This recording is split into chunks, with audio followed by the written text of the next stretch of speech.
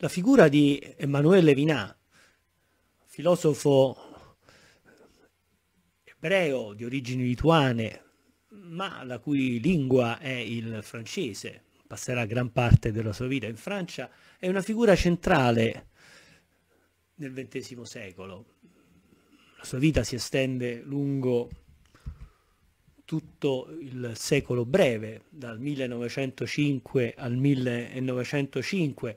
La sua è una biografia intensa eh, che lo porta a vivere eh, i momenti topici del secolo passato, a cominciare dai, dai terribili anni 30, poi dal, dalla seconda guerra mondiale, passando per i campi di prigionia che lui provò sulla sua pelle come ufficiale francese prigioniero dei tedeschi.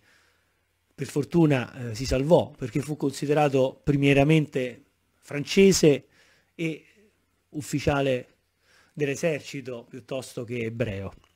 Ma ehm, la Shoah non risparmiò eh, parte eh, della, della, sua famiglia, dunque fu colpito anche eh, dal, dalla tragedia della Shoah mh, personalmente, dal punto di vista familiare.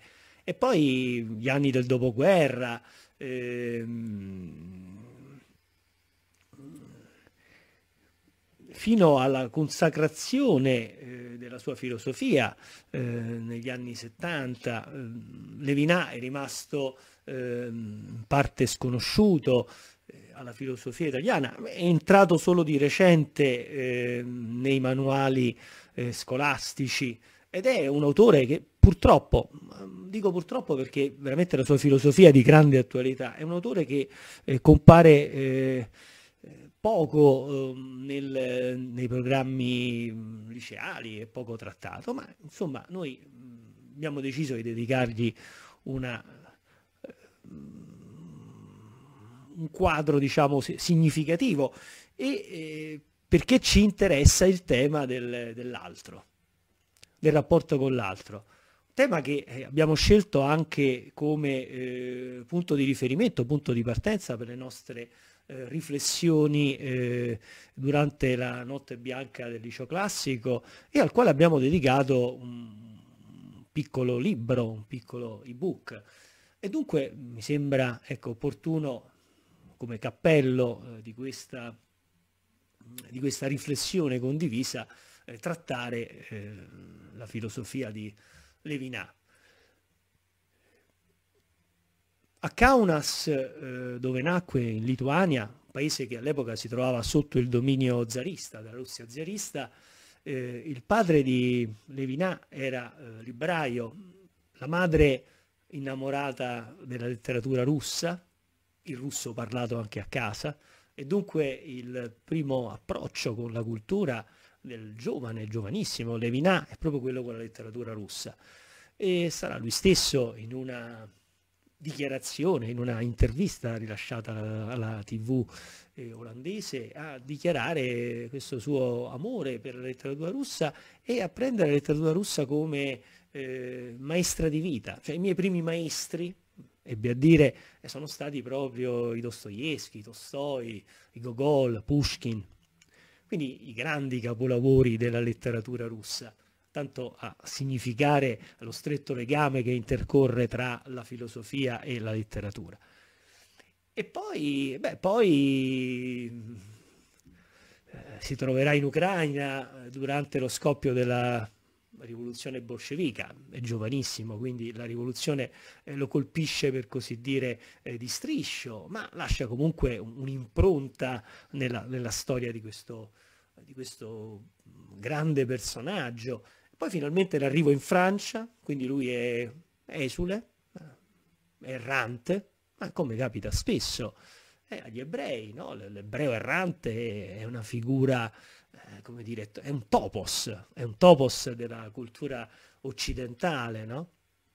Ecco, nel 1923 eh, lo troviamo in Francia, eh, a Strasburgo, in Alsazia, ai confini con, eh, con la Germania, eh, dove studia, si forma, quindi il francese diventa la sua seconda lingua, poi in un certo senso la sua prima lingua, è la lingua in cui lui scrive i suoi libri eh, più famosi. E poi lo troviamo al di là del, del Reno, in Germania, a Friburgo, dove eh, incontra tra il 1928 e il 1929 due personaggi chiave della filosofia eh, novecentesca, Edmund Husserl, il padre della fenomenologia, del metodo fenomenologico, e il giovane Heidegger.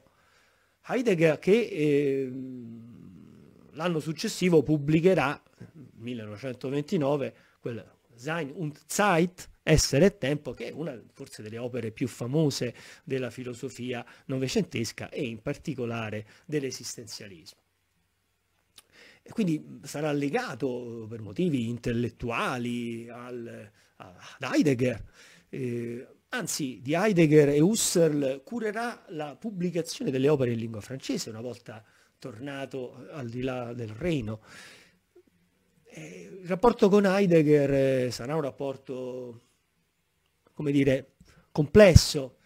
Ehm, Heidegger nel 1933, come molti altri professori universitari, accademici tedeschi, aderirà, non si sa fino a quanto, dal punto di vista puramente formale, al nazismo, comunque aderirà al nazismo, e, la sua posizione rimarrà comunque una posizione ambigua, ambiguità che poi non si chiarirà nemmeno dopo la seconda guerra mondiale. E infatti eh, Levinas eh, avrà modo di dire eh, del grande filosofo tedesco, a molti tedeschi si può perdonare, ma ci sono tedeschi ai quali è difficile perdonare, è difficile perdonare a Heidegger. Forse è difficile perdonare Heidegger proprio perché la, la, sua scelta esistenziale, la sua scelta di vita, eh, in un certo senso si è messa di traverso con la sua filosofia. Scelta di vita, intendo dire in questo caso qui, aderire al nazismo, quindi sposare, se non in pieno un'ideologia, eh, sposare comunque un clima culturale e farsene in qualche maniera interprete. Ma insomma poi delle vicende di Heidegger avremo modo di dire successivamente.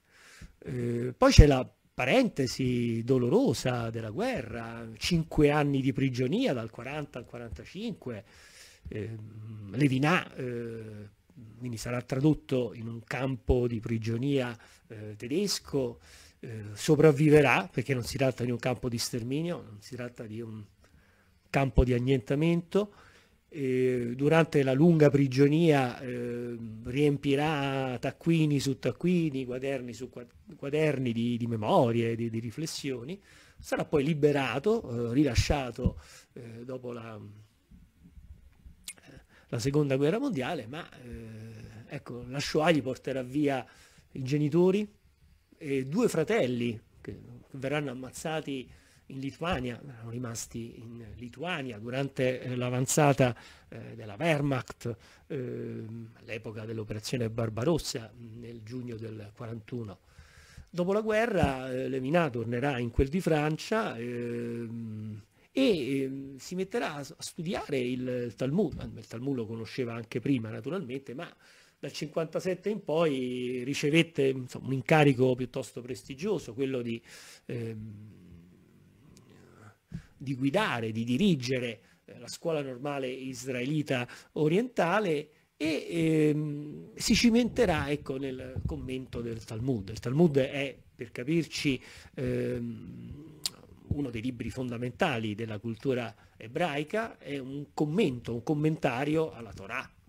La Torah, è, ovvero il, il Pentateuco, i primi cinque libri della Bibbia sostanzialmente. Il Talmud è un, un repertorio di di, di considerazioni eh, filosofiche, eh, ma anche giuridiche, morali, eh, legato alla Torah. Eh, la lettura e il commento del Talmud è, come dire, l'altra, eh, l'altra ispirazione culturale forte eh, di Levinas. Quindi le sue fonti, beh, le abbiamo, le abbiamo dette, da una parte c'è la letteratura russa, indubbiamente, c'è la, la, fenomenologia di Husserl, eh, l'esistenzialismo mm, di Heidegger, ma eh, Levinas in Francia conoscerà anche Sartre, eh, Camus, insomma, eh, entra anche nel vivo del dibattito culturale francese, quindi è un intellettuale piuttosto vivo e essendo ebreo l'altra fonte di ispirazione è quella del Talmud, quindi la tradizione ebraica, un po' come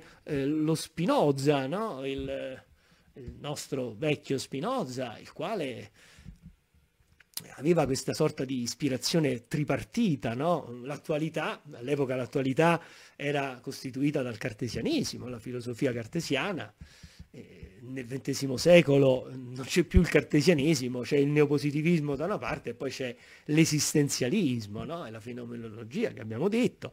Poi c'è la, la grande tradizione eh, ebraica, eh, quindi la lettura della Torah e il Talmud, e in ultimo eh, la lettura dei classici. Qui oltre ai classici eh, greci e latini abbiamo la letteratura eh, russa, che evidentemente, la grande letteratura russa che è ottocentesca, quindi evidentemente Spinoza non poteva conoscerla.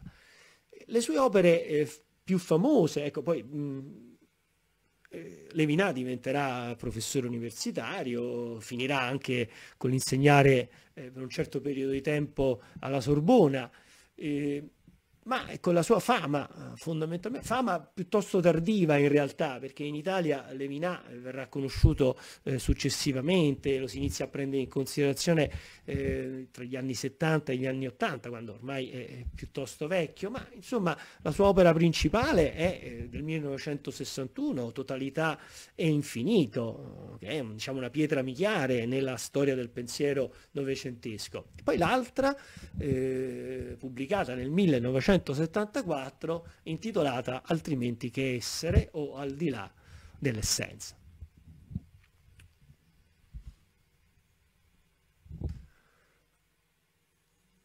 Per esporre la filosofia di Levinas cominciamo con eh, questa grande metafora. Ecco, io ho scelto un percorso fatto di suggestioni e di suggestioni che sono letture di testi di Levinas, brevi testi, ehm, concetti chiave che andrò a commentare, ad esporre, nonché eh, fotografie, immagini eh, ho, voluto, ho, voluto, curare anche la parte iconografica perché in una presentazione eh, fatta eh, su YouTube mi sembra che anche la parte iconografica debba avere un suo peso specifico. Ma insomma, cominciamo con eh, la prima figura eh, che ho scelto per eh, esporre la, la, filosofia di Levinas, cioè quella di Abramo versus Ulisse, cioè la contrapposizione tra Abramo e Ulisse.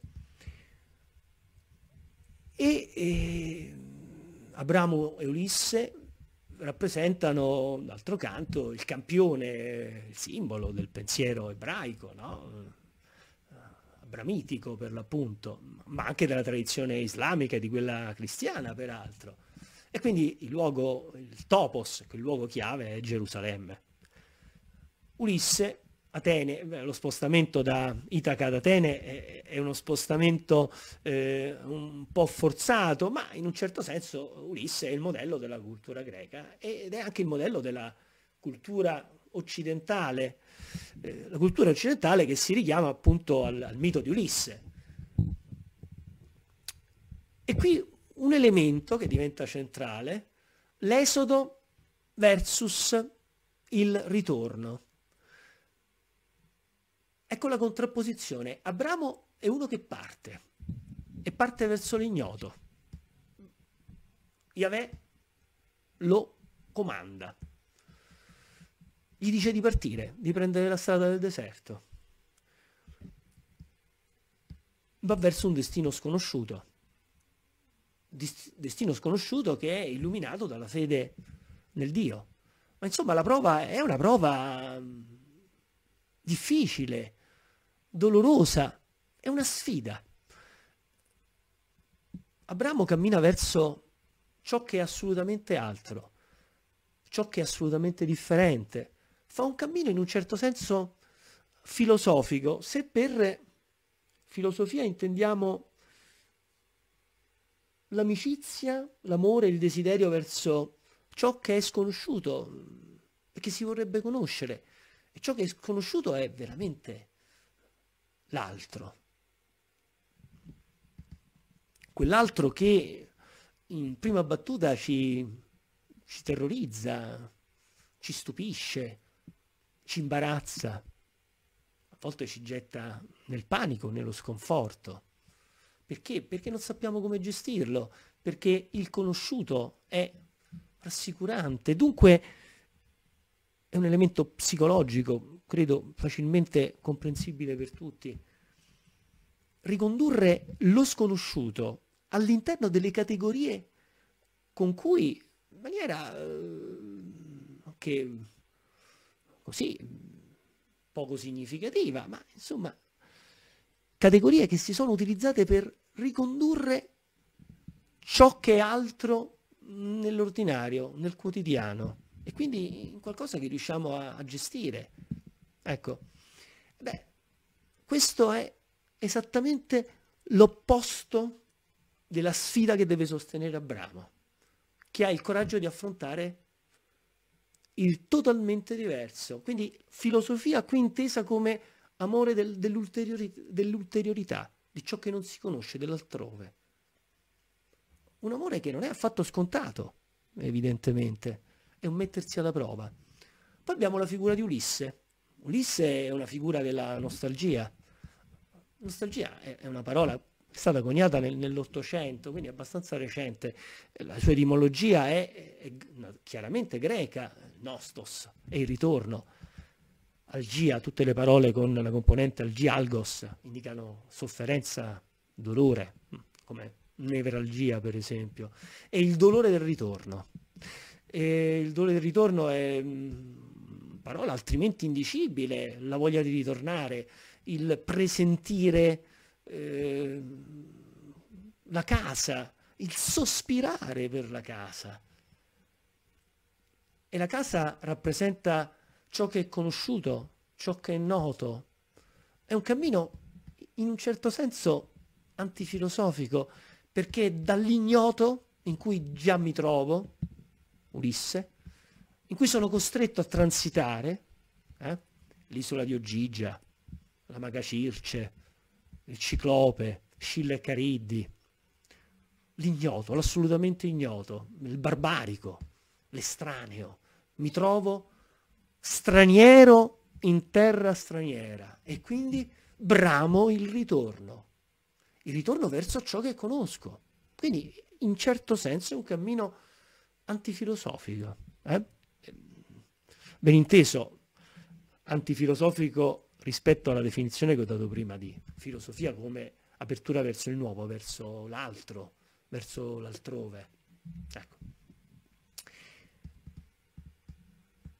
Quindi Ulisse rappresenta il ritorno a casa, ritorno a casa che è tipico poi di tutti gli eroi greci che abbandonata la terra di Troia, abbandonati i lidi troiani, alla fine della guerra, attraversano mille peripezie per tornare a casa, dove a volte trovano anche situazioni inedite, trovano la morte. Vedi il caso di Agamennone, pugnalato da Clitennestra.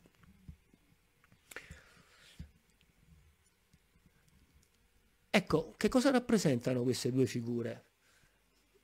Cosa rappresenta il ritorno? Il ritorno è, come dire, la cifra dell'Occidente e il voler ricondurre tutto ciò che è estraneo, ciò che è altro, ciò che è sconosciuto all'interno delle categorie del conosciuto. E quindi poter riabbracciare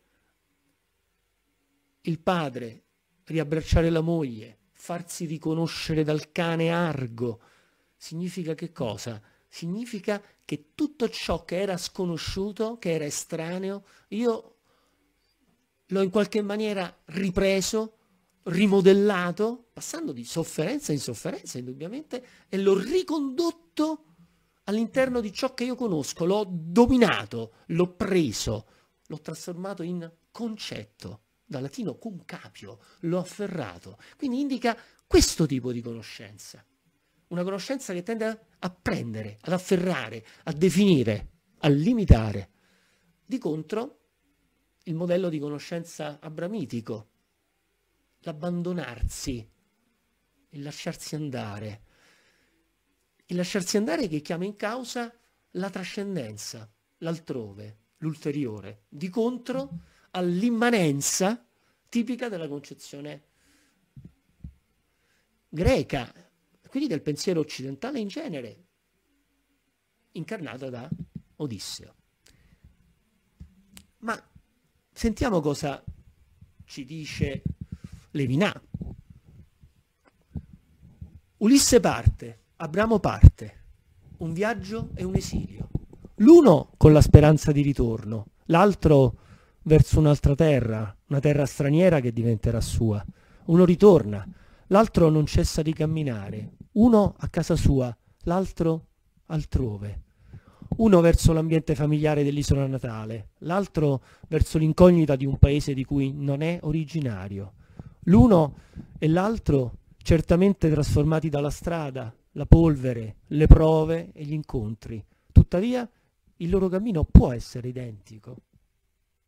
Il primo fa l'esperienza del ritorno alle stesse cose e il secondo l'esperienza di un'alterità infinita che alla fine non è tanto quella della meta quanto quella di Dio. Due partenze, poi un ritorno e una chiamata. Non si valuta allo stesso modo quello che si è lasciato, né il cambiamento avuto lungo il cammino rispetto a un ritorno o rispetto a Dio, perché Abramo, più di Ulisse, richiama la figura del pellegrino il viaggio di Ulisse è circolare, egli ritorna a quello che conosce ed è appagato da questo ritorno. Abramo è libero riguardo ai luoghi, qui o là. Quello che importa è colui che guida. Il cammino di Abramo è desiderio. Non ha mai finito di lasciarsi sorprendere dall'inaudito di Dio e non vuole un luogo dove fissare Dio.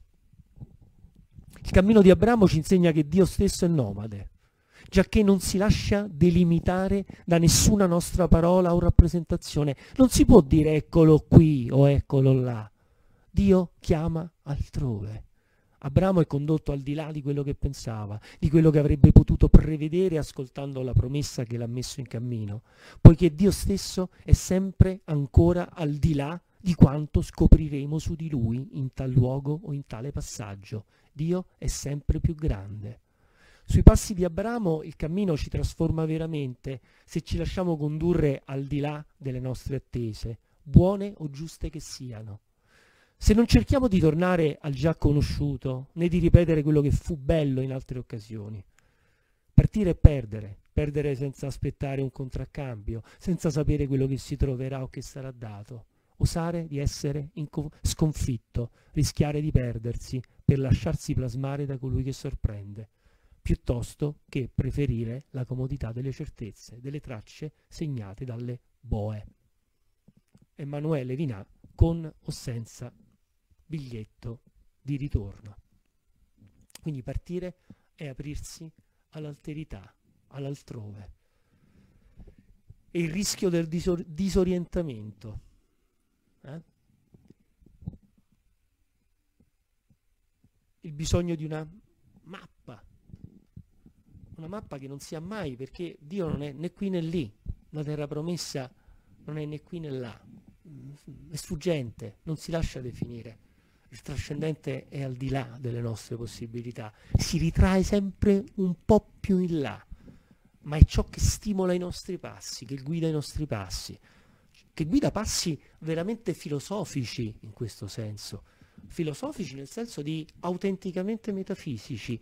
E autent- eticamente etici, perché questo atteggiamento dell'esodare, dell'essere in cammino, è nel contempo un richiamo metafisico verso l'altrove, verso il trascendente, quindi non è concentrico, è eccentrico, e nello stesso tempo è etico perché ci insegna a camminare, cioè ci insegna il passo che segna il ritmo del quotidiano, che dà senso e significato al quotidiano. Ho scelto un paio di immagini, la prima antica, Ulisse in partenza, in partenza sulla via del ritorno, il Nossos a inizio, e poi una fotografia tratta dalla contemporaneità? Dei profughi siriani in marcia eh, lungo una strada sterrata. Loro sì, stanno andando verso l'altrove, verso lo sconosciuto, stanno esodando, stanno compiendo obtorto collo a causa della guerra, sono costretti a compiere un salto nel buio verso ciò che non è familiare, che è disorientante al massimo grado. Quindi al di là, pensateci bene, al di là del, dei rischi, del tormento del, della fatica, del tormento della fame, della sete, della paura, la paura della guerra, della disperazione, c'è questo andare verso l'ignoto, no? l'incertezza di un domani che non si sa dove sarà, non sarà qui, non sarà là. Eh? Pensate quanto è significativo, no? quanto è umano questo tipo di sentimento, questo tipo di sensazione. Perché accompagna l'umanità, come ci dice l'antropologia, accompagna l'umanità sin dalle origini. L'umanità, Homo sapiens, è fondamentalmente una creatura nomade. Da quando ha abbandonato eh, le, le, alture etiopi, l'Africa orientale, spingendosi verso la Palestina e poi da lì, dallo snodo medio orientale verso l'Asia, l'Europa. Homo sapiens è creatura nomade, migrante, va verso l'ignoto. Prima ancora di tornare a casa, di avere una casa, una oikia, eh, un palazzo dove tornare, è l'animale che tende verso l'ignoto, verso l'altrove, verso l'altro.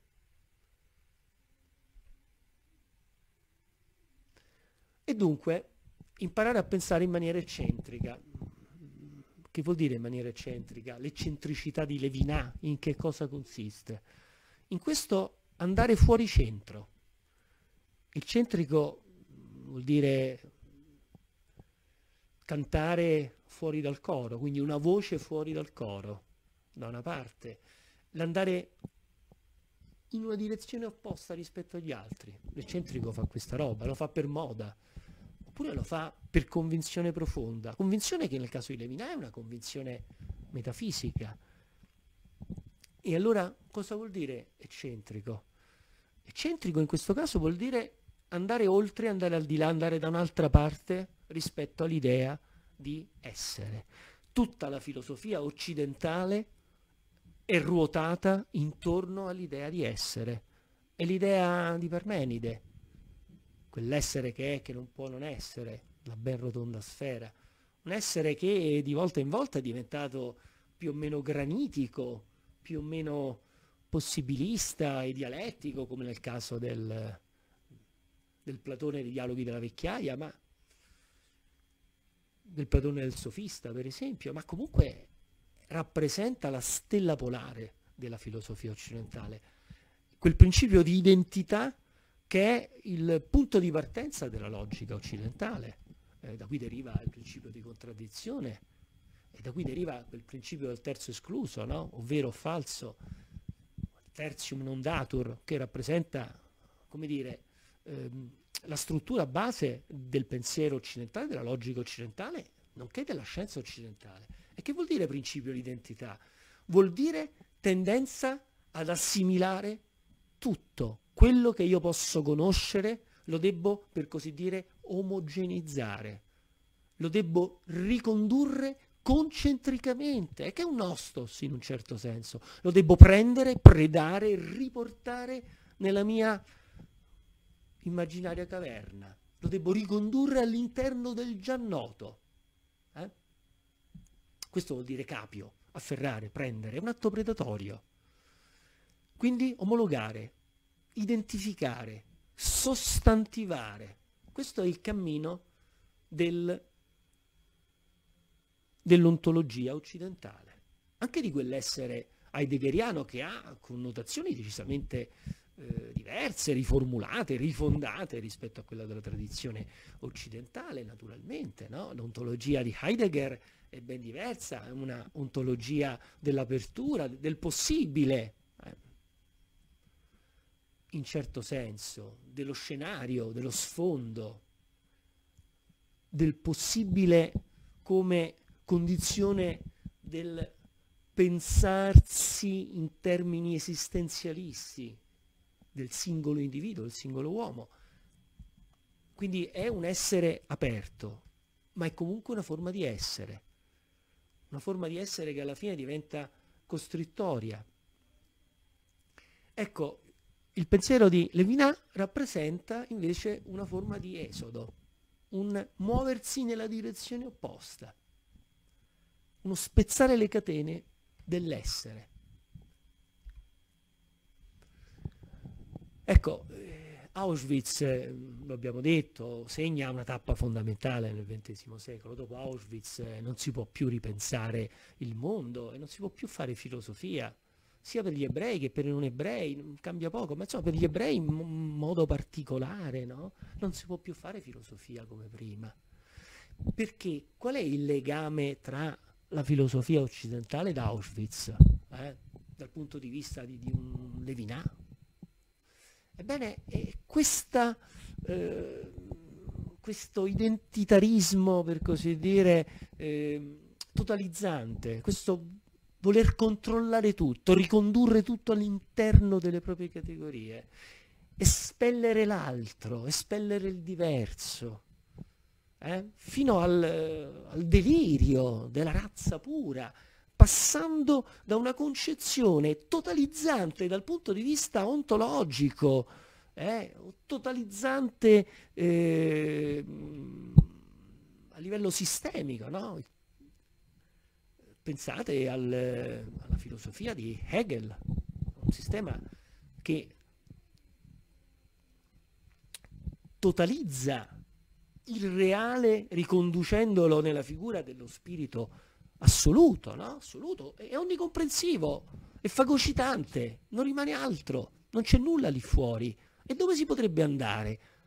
Si può solo rimanere qui dentro, tutto ciò che è fuori o viene assimilato, eh? viene assimilato come i popoli arianizzabili o ariani o para-ariani, oppure è espulso. Da fine diventa strumento, mezzo, schiavo del Terzo Reich. Eh? Quindi anche la, la, la, scienza alla fine, perché il meccanismo eh, del Terzo Reich è anche un meccanismo eh, della tecnologia, è totalizzante quindi non solo dal punto di vista etico, eh, eh, se mi è consentito usare la parola etica, naturalmente, per il Terzo Reich, non solo è totalizzante dal punto di vista eh, delle strutture statuali, è, è, totalizzante dal punto di vista antropico, per così dire, una sola idea di uomo che deve essere biologicamente concepito come uomo superiore, colui che appartiene alla razza puro, pura, che esclude tutto l'altro da sé. Ecco, dunque arrivare, essere arrivati a questo beh, non è un puro e semplice incidente, ma questo Levinas, pensate, lo aveva notato già in un libello che risale al 1936, si intitola Alcune riflessioni sulla filosofia dell'hitlerismo, no? Aveva detto Levinas, ogni civiltà che accetta l'essere, la disperazione tragica che comporta i crimini che giustifica, merita il nome di barbara e barbarie i figli di Goethe e di Hegel, di Kant, per cui l'uomo deve essere sempre fine e mai mezzo, hanno prodotto, si sono ritrovati a produrre quella barbarie. È stato un incidente? Una parentesi? No, non è un incidente. C'è un legame tra la concentricità, tra il procedere concentrico, totalizzante, identitario, ontologicamente forte del pensiero occidentale e il Terzo Reich e Auschwitz. Eh? A queste riflessioni eh, Levinas giunge anche attraverso l'influenza di un altro grande filosofo ebreo, eh, Rosenzweig, ebreo tedesco anche lui, eh, il quale aveva già, eh, come dire, toccato il nervo scoperto eh, della filosofia della potenza intesa declinata in senso occidentale. Del resto il clima culturale da cui poi deriva la barbarie del XX secolo, della, degli anni 30, degli anni 40, ma anche la barbarie successiva, per carità. È un clima che si è andato formando tra XIX secolo, inizio del XX secolo, un clima assolutamente diffuso, non etichettabile con questa o quella razza, figuriamoci, non è eh, da eh, imputare a questa o quella eh, nazione, a questo o quel popolo, non parla questa o quella lingua, è un clima eh, complessivo, no? E dunque lo si può designare in un certo senso con la parola occidente, occidentale. Anche l'angoscia, eh? l'angoscia cambia, l'angoscia di cui avevano parlato gli esistenzialisti, no? di cui aveva parlato Heidegger in Essere Tempo, dopo Auschwitz prenderà altre forme, si dirà in un'altra maniera. L'angoscia non è più eh, lo stato di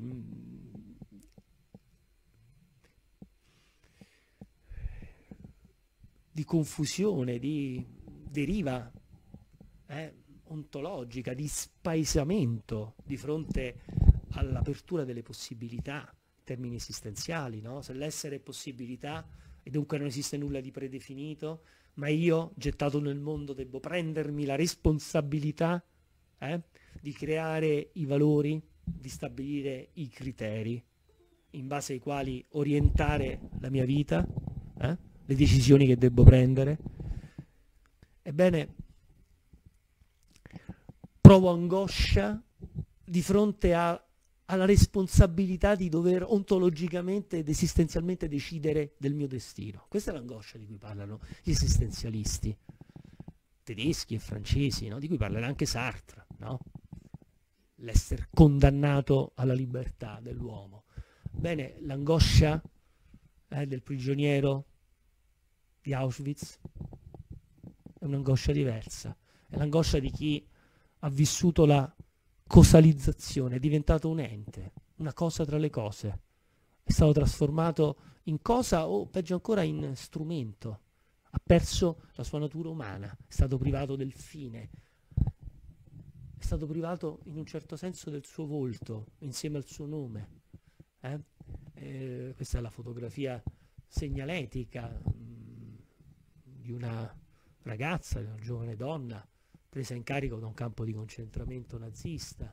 Eh, si passa per queste foto di identificazione a cui viene associato un numero, diventi numero quantità, non più qualità, non volto, numero.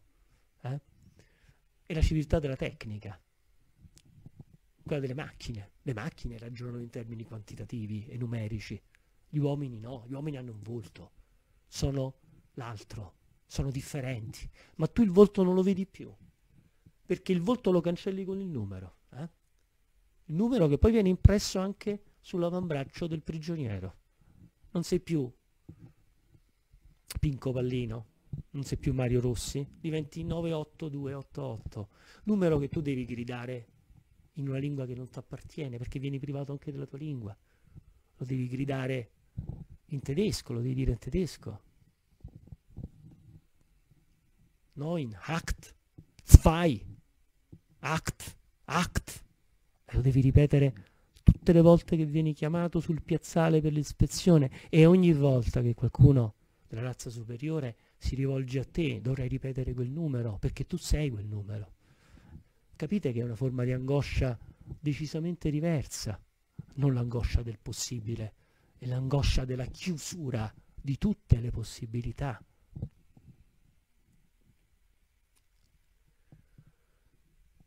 Bulimia della filosofia occidentale. Bulimia sapete, è la malattia, quella per cui si inizia, una malattia nervosa per cui si inizia a mangiare, non ci si ferma più, non si sta più a sentire lo stomaco, si ascolta la mente. Eh, la mente che diventa mente predatoria, mangio tutto, mangio tutto e di più, tutto quello che riesco a assimilare, che riesco a ricondurre a me, eh, lo padroneggio, io mi arricchisco, divento più forte, è un modo per esprimere l'ansia, far fronte all'ansia, no? E in un certo senso questa è la bulimia della filosofia occidentale. No?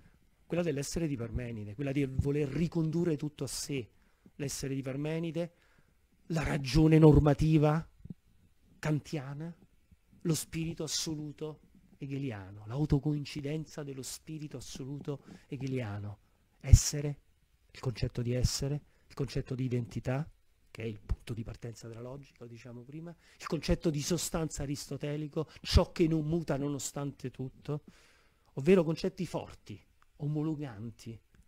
Eh? E allora, di contro a questo conoscere che è un capire, un prendere, un inglobare, un, assimil- un assimilare in senso totalizzante, c'è un'altra forma di conoscenza che possiamo ricondurre alla radice sa del verbo sapere, viene dal latino, sapere, sale, sapido, sapiente, il sapere di qualcosa, l'avere un sapore, ma l'avere un sapore è qualcosa di specifico, di particolare, vuol dire io ti riconosco nella tua differenza, non ti sto prendendo, non ti sto assimilando. Gusto il sapore di un cibo quando il cibo è ancora altro. Sento l'odore del cibo, l'odore di una persona, o le caratteristiche fisiche, il volto, lo sguardo unico, irripetibile di una persona quello sguardo eh, metafisicamente mi sa di qualcosa, mi sa di qualcosa. Quello che io conosco, che assimilo, eh, che degludisco, eh, che trasformo in standard, che formalizzo, che concettualizzo, beh, quello non mi sa veramente di nulla, diventa insipido. Insipido vuol dire anonimo, inautentico, diventa come quel numero tatuato sul braccio. E dunque Occorre sgombrare il campo da tutto ciò che è altro, che sta altrove, che è ulteriorità. Occorre ricondurlo all'interno della massa, occorre massificarlo, occorre disciplinarlo con le parole d'ordine. Eh? Occorre catalogarlo, quantificarlo, ammucchiarlo, come i mucchi dei capelli dei prigionieri di Auschwitz, eh, delle vittime, o delle scarpe, eh, o dei denti d'oro, qualcosa del genere. Dunque, la filosofia dell'altrove, dell'eccentricità, in un certo senso, la filosofia dell'altro, di Levinas, prende le mosse in funzione non anti-occidentale, perché non si tratta di andare contro l'Occidente, si tratta di operare un correttivo, di mostrare l'altra faccia della medaglia, eh? ma prende le mosse da questa forma di bulimia del pensiero occidentale.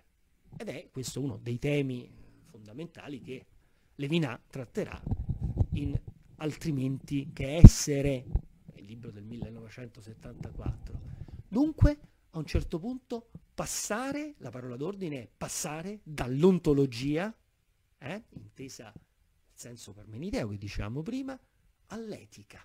Perché etica significa uscire continuamente da sé ponendosi la domanda incessante qui ed ora cosa debbo fare, come debbo comportarmi in relazione all'altro. Solo in questo movimento incessante posso ritrovare effettivamente me stesso e scoprire che io è una funzione dell'altro, non si darebbe io senza l'altro, è una funzione relazionale. Di questo parliamo in una successiva lezione. Per adesso ci fermiamo qui. Hey!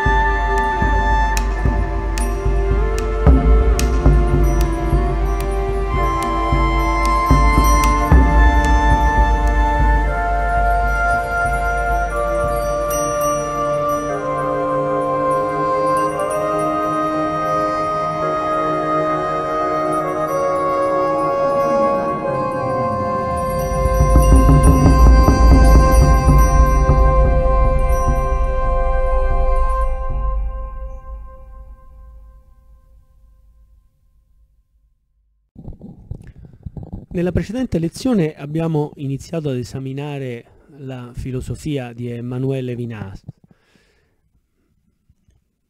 In particolare eravamo arrivati alla critica eccentrica che eh, Levinas muove al pensiero occidentale nel suo complesso, pensiero occidentale che abbiamo visto fondarsi su un'idea forte eh, di tipo ontologico che è quella dell'essere. Per questo ho selezionato questa, questa immagine, eh, la ben rotonda sfera di Parmenide, per così dire. Mi ispiro a quella, vorrei evocare quella, no? La caratteristica di questa sfera è la sua totale uniformità, omogeneità.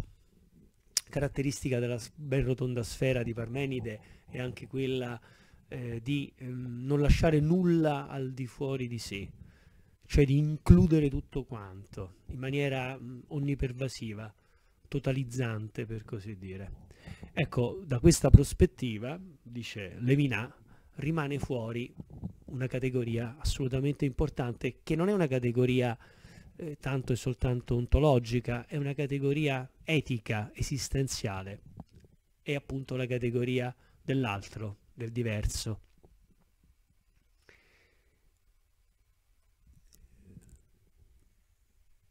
E dunque il punto di partenza della visione di Levinas è quello etico, dall'ontologia all'etica, un'etica praticata, un'etica militante.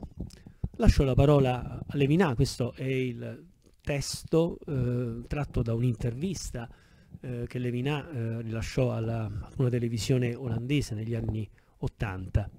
E, ehm, anticipo qui dei contenuti che poi andremo a mh, mm, analizzare successivamente, ma una, una buona letta integrale credo che sia una degna presentazione di Levinas. Lui mh, mm, avrebbe voluto essere ricordato così perché questa sintesi della sua filosofia appartiene appunto al filosofo stesso.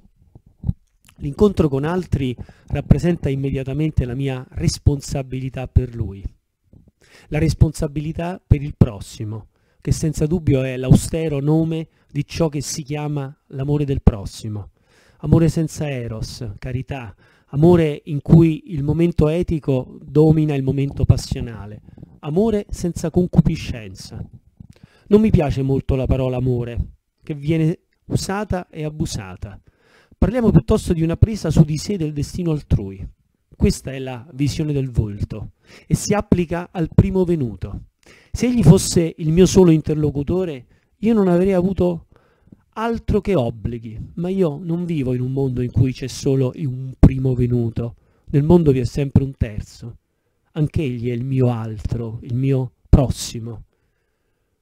Quindi mi interessa sapere chi tra i due passa avanti. L'uno non è forse persecutore dell'altro? Gli uomini, gli incomparabili, non devono essere comparati? Nella mia analisi il volto non è affatto una forma plastica come un ritratto. La relazione con il volto è al tempo stesso il rapporto con l'assolutamente debole, il rapporto con ciò che è assolutamente esposto, nudo e denudato, e il rapporto con il denudamento e di conseguenza con ciò che è solo e può subire l'isolamento supremo che si chiama morte.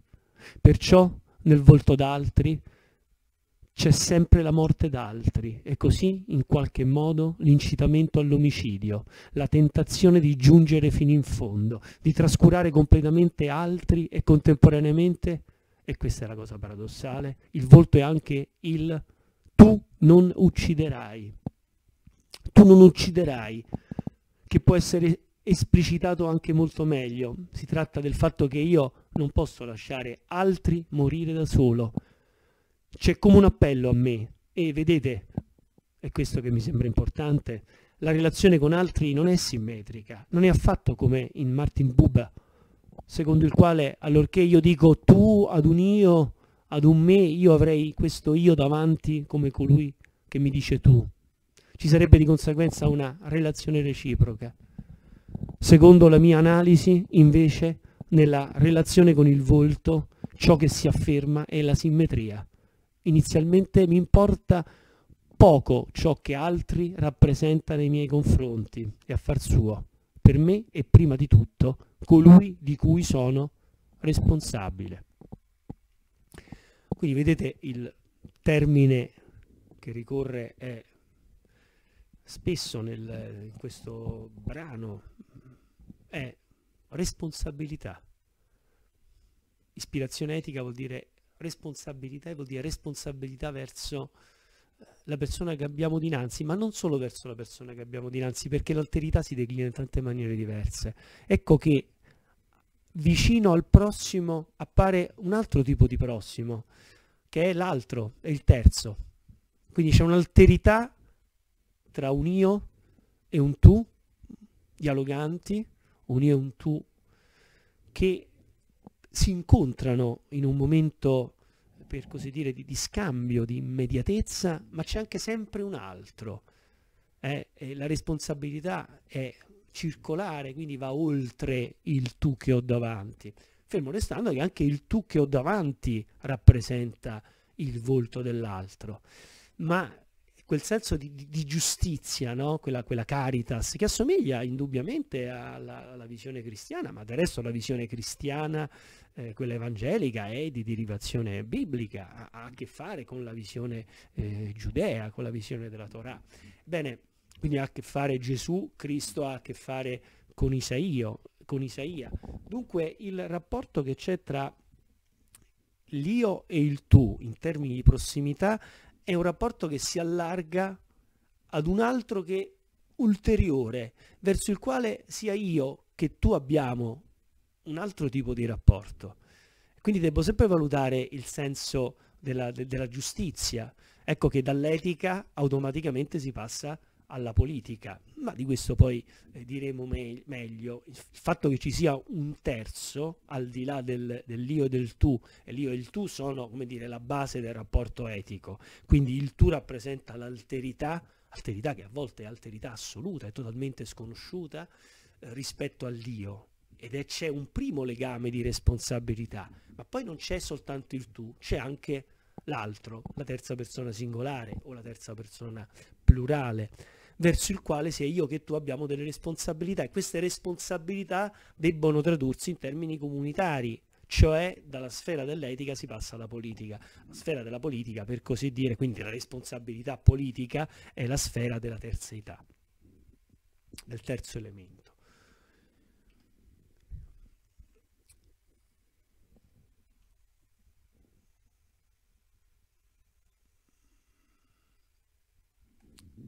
Filosofia dell'io. Perché filosofia dell'io? Perché eh, dal discorso che abbiamo fatto eh, intorno all'ontologia, all'ontologia forte del mondo occidentale, quella basata eh, sull'essere e quindi sul concetto di assoluta identità e su una forma di conoscenza che è una forma di apprendimento, cioè di eh, come dire, ingurgitamento e omogeneizzazione del diverso, assimilazione al sé, quindi è il far ritornare tutta la diversità, tutta l'alterità, tutta la barbarie verso il centro che è l'oikia, che è la casa, cioè il concetto di nostos, di ritorno di cui abbiamo detto la scorsa volta. E abbiamo mostrato come se il ritorno di Odisseo è in qualche maniera un movimento concentrico, l'esodo di Abramo è un movimento eccentrico, è un andare fuori, un esodare, un muoversi verso il diverso. E allora il contrario della filosofia del tu, che è fondamentalmente etica e, gesta, e gesto etico, è la filosofia dell'io. Ecco, la, eh, l'ontologia occidentale, la filosofia occidentale, prendendo le mosse dall'essere di Parmenide, passando attraverso Platone, Aristotele, il cogito cartesiano, eh, per non parlare della ragione di, di Kant o dello spirito assoluto di Hegel, di cui abbiamo detto, ha, ha, ha, svolto questo movimento totalizzante che è giunto coerentemente eh, fino al Novecento, quindi anche fino alla barbarie del, del nazismo, no? fino alla, al crollo, per così dire, delle, de, delle illusioni di, di civiltà, eh, di progresso indefinito eh, dell'Occidente, tutte promesse non mantenute, no? perché l'Occidente è andato incontro eh, al trauma del XX secolo, andato incontro ad Auschwitz eh, come metafora del, del, della tragedia, del totalitarismo, della tecnica eh, elevata a modello supremo, totalmente disumanizzante, o come l'uomo ehm, trasformato in mezzo, in strumento e non più infine. Problema che, eh, voglio dire, assilla indubbiamente anche la contemporaneità su questo scorcio d'inizio del XXI secolo, eh, i valori eh, su cui si dovrebbe basare la convivenza eh, civile, a questo punto elevata all'ennesima potenza, cioè su sfera eh, globale, mondiale, sono ancora oltremodo incerti e il Novecento incombe la sua eredità pesa in maniera significativa sul presente e questo è sotto gli occhi di tutti evidentemente. Allora questo movimento per Levinas è stato un movimento opposto a quello dell'etica. L'etica va dall'io verso il tu e quindi tende a, a rivolgersi verso il al tu che è totalmente altro, è il mettersi nei panni dell'altro, è il dimenticarsi di se stesso, per così dire, o meglio il ricongiungersi a se stesso attraverso gli occhi dell'altro, perché alla fine riscopriamo noi stessi e prendiamo coscienza della nostra interiorità, del nostro proprio volto, eh, del nostro essere quello che siamo attraverso l'altro, mentre la fuga all'interno in maniera ecco, concentrica verso l'ego, e dunque l'egocentrismo, rappresentano un movimento per così dire antietico, movimento antietico che però è in linea è in linea con quel movimento concentrico eh, che eh, possiamo dire ha rappresentato il fil rouge, ecco, la trama del percorso filosofico occidentale, quindi mh, mm, si parla di, ehm, del destino della filosofia occidentale come destino dell'egocentrismo, di un soggettivismo esasperato, da cui discende anche l'individualismo esistenzialista, nel senso che anche le nuove filosofie esistenzialiste, quindi compresa quella di, di Heidegger, no? eh, abbiamo visto che poi il giudizio di Levinas nei confronti di Heidegger della persona, eh, oltre che della filosofia, eh, è un giudizio eh, fortemente negativo. Eh, tu, Heidegger, che hai formulato questa visione del mondo, questa filosofia, poi hai giurato fedeltà al Terzo Reich, quindi anche qui la, la discrepanza tra la teoria e la prassi eh, è assolutamente eh, lacerante. Ecco. Ma insomma anche, l'esistenzialismo novecentesco, che pure rompe, almeno sembra rompere con la tradizione, eh, con la tradizione dell'idealismo ottocentesco, eh, sembra rompere con la, la, visione del materialismo storico eh, marxista. Eh, dunque con quei pensieri totalizzanti, onnicomprensivi della vecchia metafisica, tuttavia continua a mantenere invariata quella categoria dell'individuo, dell'individuo come eh, come dire, singolo, della singolarità, categoria che abbiamo anche incontrato studiando il pensiero di, di Kierkegaard. No? Il singolo è ciò che effettivamente determina il filosofare, è il centro della filosofia esistenzialista. Dunque l'individualismo che eh, segna il, il, destino dell'Occidente non... Eh, non fa eccezione nell'esistenzialismo. Anche l'esistenzialismo, che direbbe Marx è comunque una filosofia borghese, eh, segna questo movimento verso l'individuo, quindi verso l'egocentrismo. E quindi è un, per così dire, è un tradimento del, della, dell'alterità, del, della diversità. Ecco, la differenza con la vecchia metafisica è solo apparente. Quindi tutto in funzione dell'io, l'egocentrismo, la voracità dell'io non conosce limiti, anzi diventa il metron, la misura dell'agire dell'individuo. Eh? All'individuo tutto è permesso, eh, tutto in funzione dell'individuo. E oggi questo principio lo si declina e lo si incarna attraverso il, consumismo più esasperato, no? eh, consumismo che ehm, ha ehm, come dire, la, la, la, sua, la, sua, sirena di, di ispirazione, ci ispira nel senso che ci attira eh, una sirena che è onnipervasiva, che è quella della tecnologia, no? E dunque la sirena del consumismo eh, ci, ci, ci chiama a sé eh, nei momenti più impensati, nelle pieghe più eh, banali, apparentemente banali della quotidianità, no? come la classica telefonata della televendita che ci, ci coglie in qualsiasi istante. Dunque tutto in funzione dell'io e continua ad essere in funzione dell'io.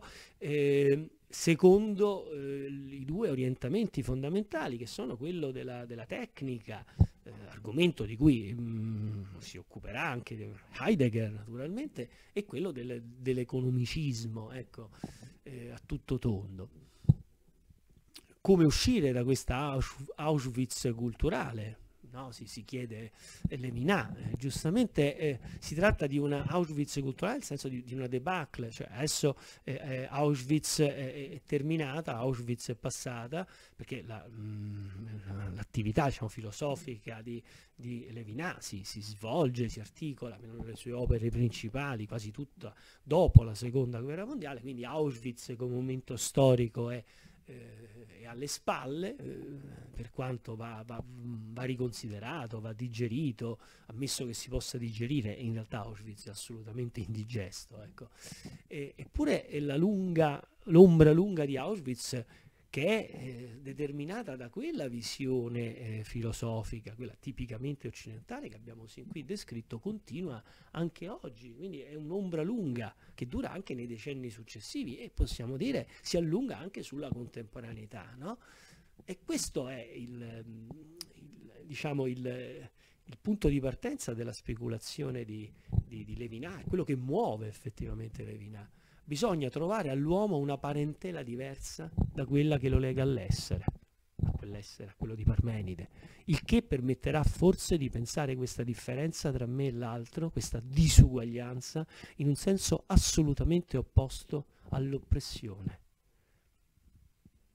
Perché l'oppressione da che cosa è determinata? Dalla volontà di assimilare l'altro all'io e dunque pensare la differenza tra me e l'altro in maniera diseguale, in maniera diversa, significa andare oltre l'idea dell'egocentrismo, che dipende dall'essere e che culmina nell'oppressione, cioè nel tentativo totalizzante di eh, ridurre l'uomo a mezzo, a macchina o peggio ancora a merce, a corpo, a cosa tra le cose, no? ne abbiamo parlato nella precedente lezione.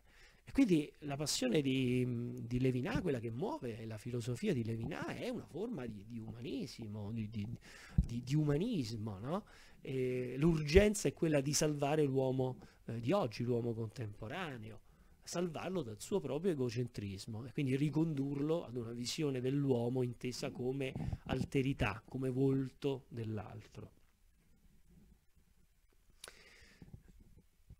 Quindi alla totalità hegelianamente intesa si contrappone, nella visione di Levinas, l'idea di infinito che mantiene l'esteriorità inappropriabile dell'altro e l'epifania del volto dell'altro. Infatti il titolo dell'opera, eh, della principale opera di Levinas, quella uscita nel 1961, è proprio eh, totalità e infinito. Allora i due termini, totalità, e infinito vengono usati in maniera, come dire, alternativa. Da una parte c'è la totalità intesa come punto d'arrivo, come ispirazione fondamentale della filosofia occidentale, quindi la totalità intesa come identità assoluta, e dall'altra c'è l'infinito, l'infinito non si lascia totalizzare, l'infinito è assolutamente sfuggente, l'infinito tende all'altro e tende alla trascendenza, perché dietro, eh, evidentemente dietro l'altro, inteso come eh, essere umano, c'è l'alterità assoluta che è quella del, del Dio trascendente, del, del, senso del divino, che non è questo quel Dio più o meno barbuto o più o meno eh, anziano, non è il Dio di, di di questa o di quella religione, se vogliamo diciamo, eh, sposare la prospettiva di Levinas eh, da un punto di vista laico, mm, è il concetto del, del trascendente come assolutamente altro. Il trascendente è inteso come infinito, eh, che non si lascia appunto controllare, che non si lascia racchiudere, che non si lascia totalizzare nella ben rotonda sfera di Parmenide, eh, si contrappone all'immanenza, al, al, divino inteso come immanente, eh, tanto immanente è il divino del mondo occidentale che alla fine eh, ha, mm, per così dire, eh, si è ripiegato sull'uomo stesso, sull'umanità stessa, sulla storia stessa, con Hegel, no? fino a ripiegarsi su un uomo sempre più brutale, sempre più disumano, sempre più tecnologizzato, per così dire. Quindi l'uomo nuovo rinascerà unicamente dall'impatto che riceverà dall'incontro con il volto dell'altro. Eh. Con l'apparizione dell'altro, ognuno di noi, dice Levinà, è come sbalzato da sella, è cavato giù dall'arcione, no? eh, l'idea è questa. Eh, l'altro è ehm, un elemento taumatico, eh, un elemento che genera meraviglia, sconcerto e non ci lascia mai indifferenti, ci risveglia dal sogno, o meglio dall'incubo dell'egocentrismo. Quindi occorre salvare l'umano dell'umano, impostando con l'umano, riconoscendo quella che è la struttura fondamentale del rapporto con l'altro, che è un rapporto sempre comunque asimmetrico. Eh, era, l'abbiamo visto nel passo precedente, eh, Martin Buber, un altro grande filosofo, eh, sempre ebreo, aveva invece stabilito un rapporto per così dire simmetrico tra l'io e il tu, quindi io scopro me stesso in un tu che sostanzialmente mi assomiglia, con il quale ho un rapporto di eh, totale simmetria. Invece il rapporto con l'altro, eh, così lo intende Levinas, è sempre decisamente asimmetrico. Eh, ecco perché eh, genera in me quella, quella, quel tauma, quella meraviglia che eh, mi porta a superare, a trascendere il mio egocentrismo.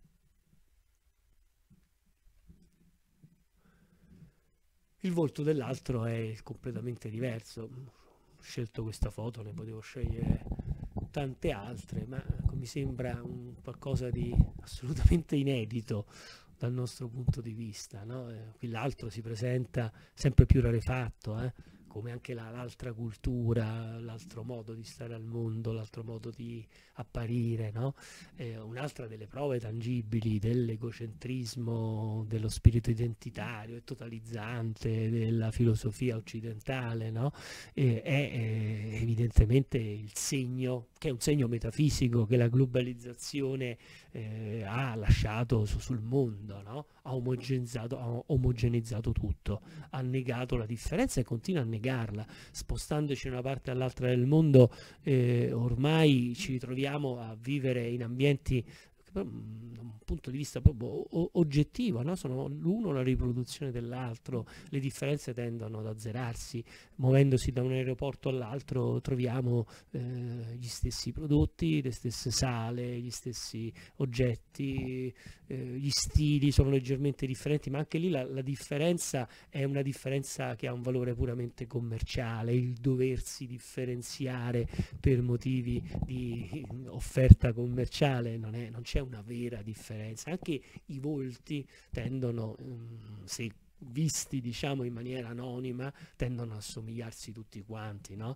come il volto di, di altre persone no? diciamo er- erroneamente no? che, che, so, che, i cinesi si assomigliano tutti piuttosto che eh, eh, quell'altra etnia sembrano tutti simili anche, anche, anche noi noi, ammesso che ci sia un noi e un loro, un noi e un voi, eh, sono evidentemente modi di dire eh, categorie che lasciano il tempo che trovano, ma insomma eh, questo, questa visione, questo sguardo che eh, omogenizza tutto no? rende tutto anonimo, annulla le distinzioni, annulla le differenze, è lo sguardo identitario di cui dicevamo prima. E dunque eh, questa foto vuole rappresentare un, un volto totalmente altro, no?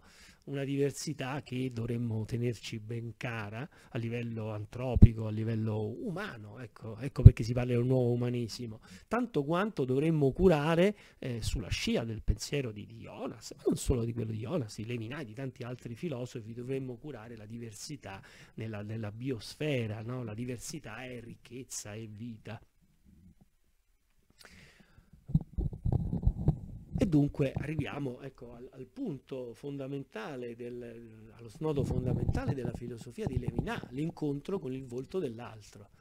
Ehm, anche qui Levinas si rifà ad un concetto del Talmud, no? che è il, il testo, ehm, testi filosofici, dei commentari eh, della, della il principale commentario alla Torah espresso dal mondo eh, ebraico, no? Chi salva un individuo è come se salvasse il mondo intero. Ecco, questa espressione che, che troviamo anche nel, nel, giardino dei giusti eh,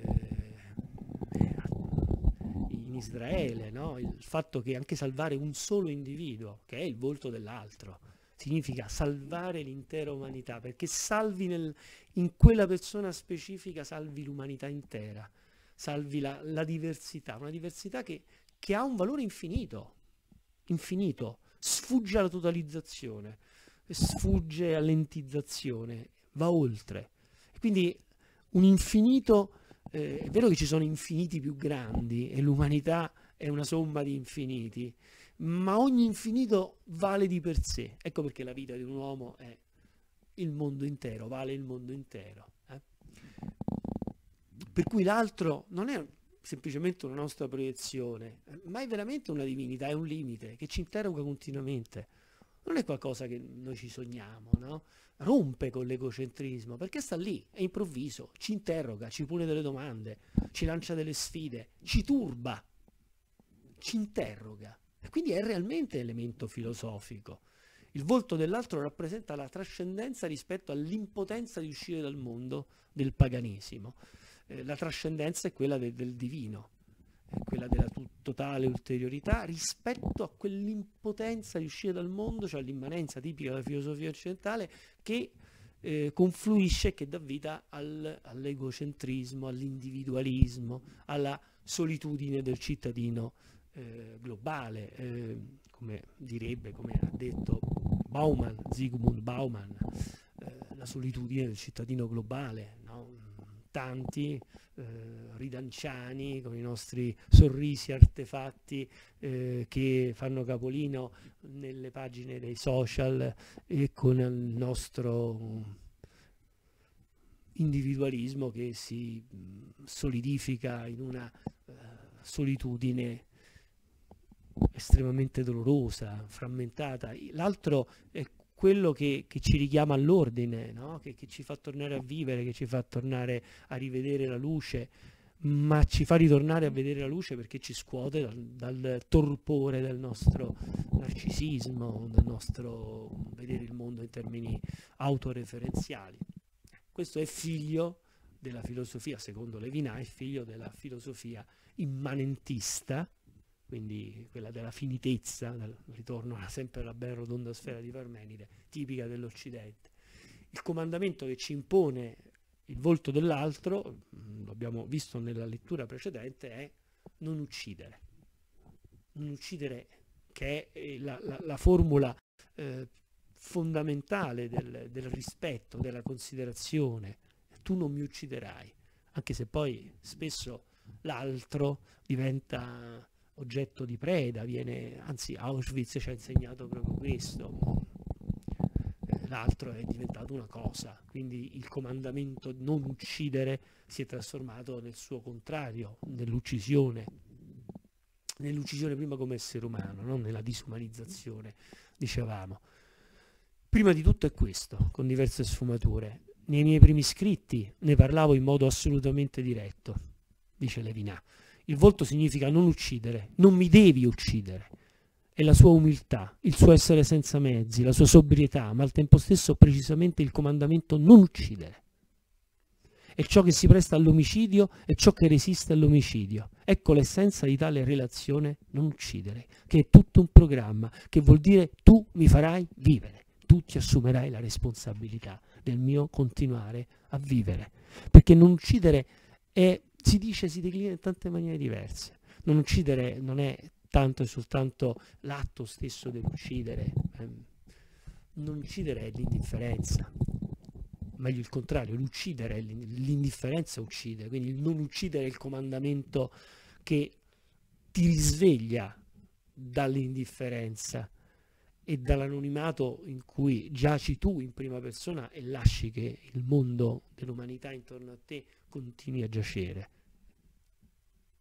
Questo significa non uccidere, mi farai vivere, cioè pre- ti, fa- ti prenderai cura di me, ti farai carico di me in un modo o nell'altro, perché io sto lì, io sto lì e per te rappresento un appiglio per rompere ecco, lo, la, la, la, la parete solida del tuo isolamento, del tuo anonimato. No?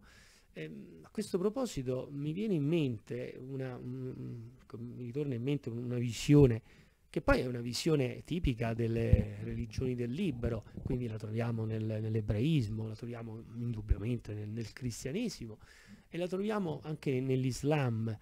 E in particolare ehm, in, l'ho appresa eh, diciamo, nella mia autobiografia eh, entrando in contatto con eh, la cultura islamica, eh, ovvero l'idea che eh, il,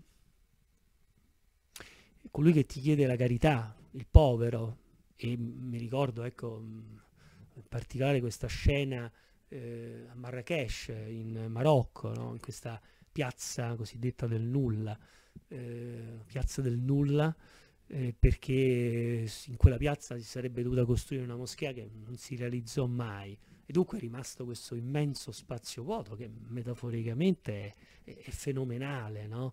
il, il, vuoto che è, rappresenta sostanzialmente il, divino, quello che non si identifica in nulla di particolare e per questo può essere tutto.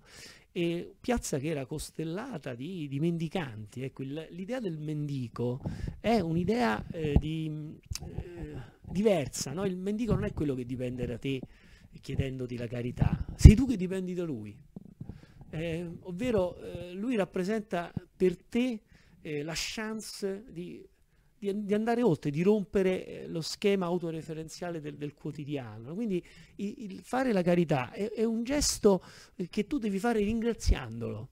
So che può sembrare paradossale, anzi sembra paradossale ai più perché noi viviamo in, una, in un mondo e secondo delle, delle, logiche completamente diverse e nonostante ci, ci si professi eh, cristiani, che è piuttosto curioso. Ecco.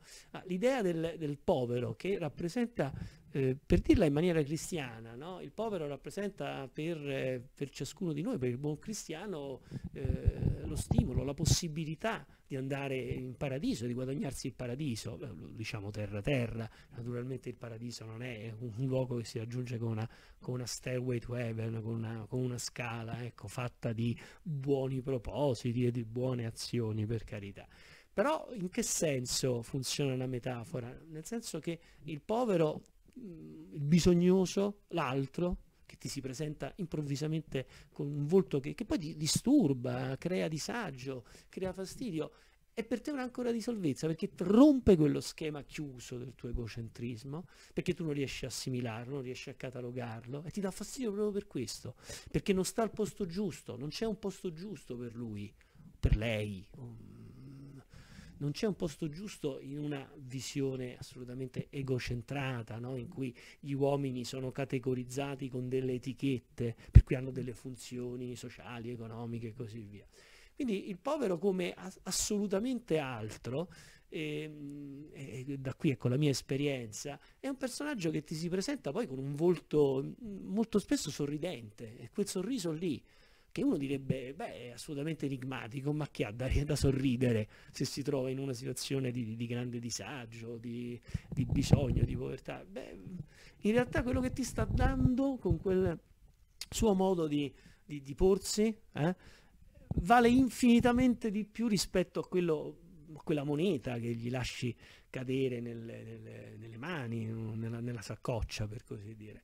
E l'altra, ecco, l'altra scena, eh, sempre a proposito del, del non uccidere, del non uccidere con l'indifferenza, no? del prestare orecchio eh, al, al, discorso dell'altro, no? alla richiesta dell'altro. È eh, questo um, spezzare il pane, no? quindi magari eh, mi ricordo questo, questo, giardino pubblico sempre in Marocco in cui le famiglie andavano lì a fare una sorta di picnic e, e ehm, ed era assolutamente normale che spezzando il pane, il pane che assomiglia a una sorta di, eh, di, di pizza, ecco, per un pane molto basso, spezzando il pane normalmente eh, arrivano, potevano arrivare mh, mm, bambini, mh, mm, bambini o comunque altri, persone altre che si trovano a passare là e il gesto di spezzare il pane, di dare un pezzo di pane anche al, allo sconosciuto, al totalmente altro, all'avventore, è un gesto così, così normale, così eh, consueto, è fatto in maniera così eh, delicata, per così dire, che ti, ti, fa riflettere su quello che doveva essere probabilmente, che per noi abbiamo perso, no? lo spirito originario del, anche del, del, della metafora della comunione cristiana, no? questo spezzare il pane che è il gesto del, dare all'altro, del darsi, ma insomma... Eh, di questo indubbiamente c'è qualcuno più titolato a parlare del sottoscritto. Dunque tu mi farai vivere vuol dire che tu ti prenderai cura di me. Non mi ucciderai in primo luogo con la tua indifferenza, no?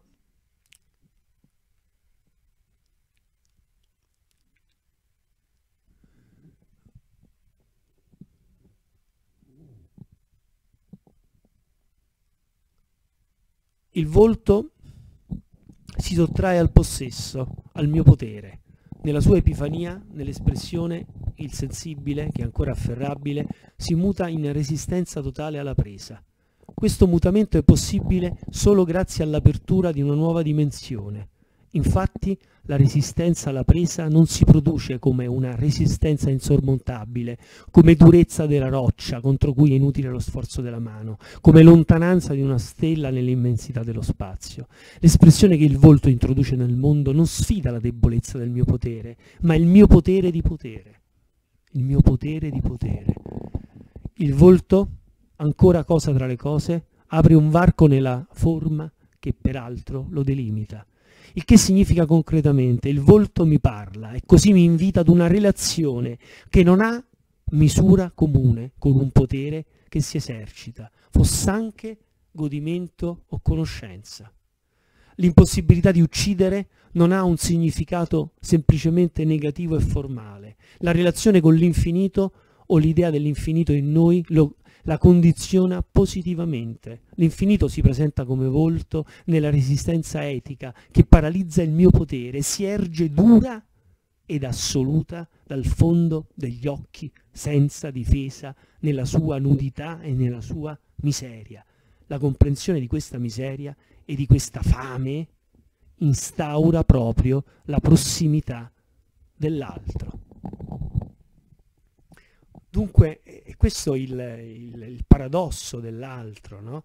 che mi insegna, che mette in discussione il mio potere di potere, cioè mi, mi, mi, mi sdratica, mi, fa vedere un altro modo di potere, un'altra declinazione del verbo potere, un verbo potere che si declina, per così dire, alla seconda, alla terza persona o anche alla quarta, alla quinta, si declina verso l'altro e si declina all'infinito, perché il modo di declinare il verbo potere è tipico della um, cultura occidentale, per così dire, della filosofia occidentale, è la prima persona singolare, io posso, e io posso in relazione a me, a me stesso, quindi è la modalità autoreferenziale. Ma c'è una forma di potere che è enormemente più grande, che è il potere verso l'altro, quindi il potere di potere.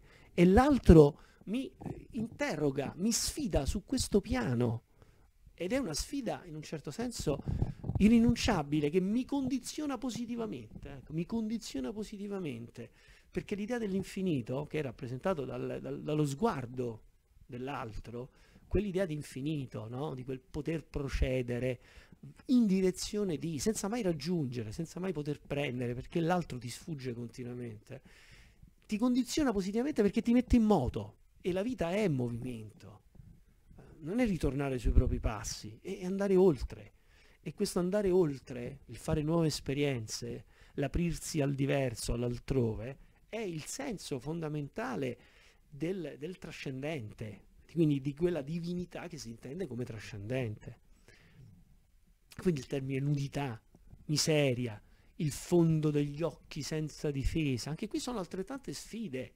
No? Il, la nudità, per, per, rimanere nudo davanti all'altro, ci vuole un, un coraggio, come dire, qualcosa che, che, che, veramente è difficile da, da, da concepire, da realizzare. Ti, ti, ti chiama in causa, non può non chiamarti in causa.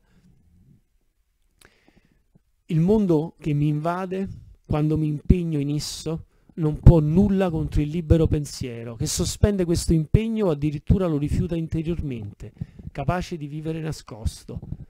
L'essere che si esprime si impone, ma appunto facendo appello a me con la sua miseria e la sua nudità, con la sua fame, senza che io possa restare sordo al suo appello. Così, nell'espressione, l'essere che si impone non limita ma promuove la mia libertà facendo nascere la mia bontà.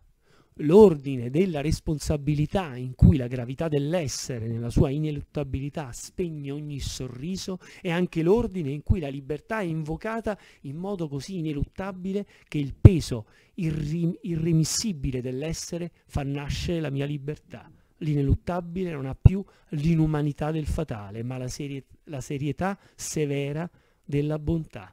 Quindi qui l'ineluttabile è inteso come dover, come senso del dovere, come dover essere nei confronti dell'altro, verso l'altro. Ed è anche un, un nuova, una nuova idea di libertà. No? Se noi eh, disassociamo una qualcosa che, mh, mm, voglio dire, diamo per, per, assodato, per scontato, cioè il concetto che poi è alla base del, del liberalismo, no? anche come dottrina politica, o del liberismo come dottrina economica, cioè che la libertà sia declinabile alla prima persona singolare. Eh? Io sono libero e la libertà è sempre quindi autoreferenziale. Ecco, se lo rompiamo questo, questo concetto, lo, lo, lo apriamo all'altro, ecco che la vera libertà la si guadagna o la si esprime verso l'altro e l'altro diventa la causa della mia libertà. Senza l'altro, senza la sua provocazione eh, che mi, mi apre orizzonti infiniti, io non sono realmente libero.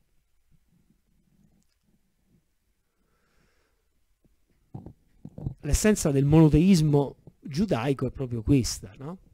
Il monoteismo giudaico non esalta una potenza sacra, un numen, eh, un principio divino, che trionfi su altre potenze luminose, ma che partecipi ancora della loro vita clandestina e misteriosa. Il Dio dei giudei non è sopravvivenza degli dei mitici. Secondo un apologo, Abramo il padre dei credenti, sarebbe stato figlio di un mercante d'idoli. Approfittando dell'assenza di Terè, li avrebbe tutti spezzati, risparmiando il più grande di essi per attribuirgli occhi del, agli occhi del padre la responsabilità del massacro. Ma Ter al suo ritorno non può accettare questa versione fantastica. Egli sa che nessun idolo al mondo potrebbe distruggere gli altri. Il monoteismo segna una rottura con una certa concezione del sacro, non unifica né gerarchizza gli dei, luminosi e numerosi, li nega. Rispetto al divino che essi incarnano non è altro che ateismo. Su questo punto il giudaismo si sente estremamente vicino all'Occidente voglio dire, alla filosofia, nel senso filosofico. E ecco anche il motivo per cui l'ebraismo no, è, partorisce anche la laicità in un certo senso, l'ateismo. No? Pensiamo a un Spinoza, a un Marx, grandi filosofi ebrei, la, la modernità partorita dall'ebraismo in termini di laicità e di ateismo, ateismo diverso, un ateismo che diventa umanismo in un certo senso. Beh, il contributo degli ebrei, per l'appunto dei filosofi ebrei, è da questo punto di vista enorme. E vedete la, l'aneddoto, che, cosa che cos'è il monoteismo effettivamente? Il monoteismo non significa prendere un idolo e elevarlo al di sopra degli altri, no? Eh, quella è una forma di monoteismo eh, falso, è sempre uno, un politeismo, no? Pensate alla, alla alla sintesi operata in epoca imperiale, no? nei primi secoli d.C., eh, dallo stoicismo dal neoplatonismo, no?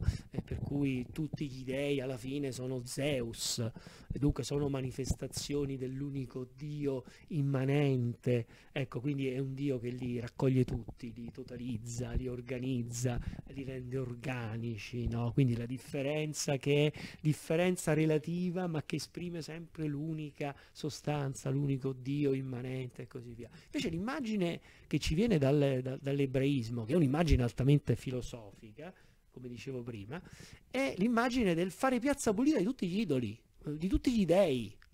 Non ce n'è più nemmeno uno, non ce n'è uno che si eleva al di sopra degli altri, no? Anche se qui, ecco, metaforicamente, un solo idolo avrebbe massacrato, avrebbe distrutto tutti gli altri idoli. L'idea è via gli idoli, via l'idolatria, cioè Dio, il divino, non è qui, non, non lo possiamo rendere immanente, sta oltre, tende all'infinito, è, è asintotico, eh, per così dire, no?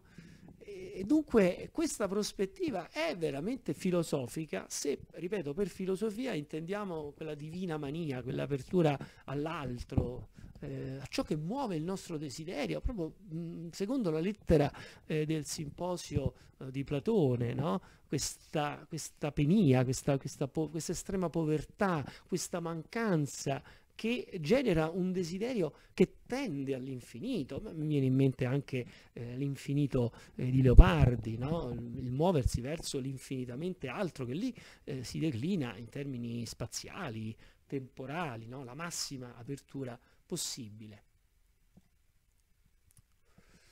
Ecco, ho scelto qui una, una figura che è quella di Abramo, no? un ritratto di Abramo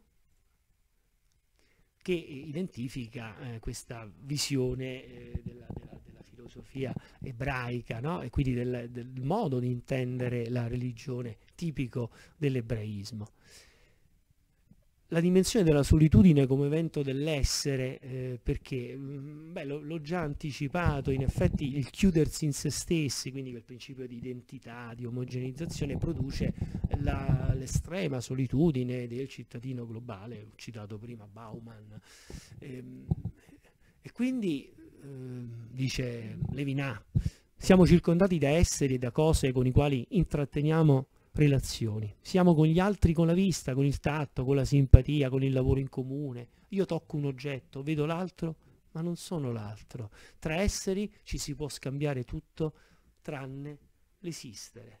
Allora, eh, questo è il punto, perché in ultima istanza la solitudine è, è un dato, diciamo, di tipo culturale, ma è anche un dato di tipo esistenziale. Ecco perché da qui la necessità di affidarsi all'altro, al totalmente altro, quindi a quell'idea del divino, perché poi ci sono esperienze che sono le esperienze fondamentali della nostra esistenza, come il nascere, il morire, fermo restando che poi il nascere e il morire sono metafore di ogni singolo momento della nostra vita, nasciamo e moriamo in ogni istante, no? Poi mh, ci autoconfortiamo con eh, una sorta di senso comune, eh, con i gesti quotidiani, ma affrontare direttamente eh, la, la, la trama della nostra esistenza, cioè il fatto che l'essenza della nostra esperienza esistenziale non è condivisibile eh, neanche il genitore più amorevole può pensare di, di morire eh, la, la, morte de, del figlio, che è un pensiero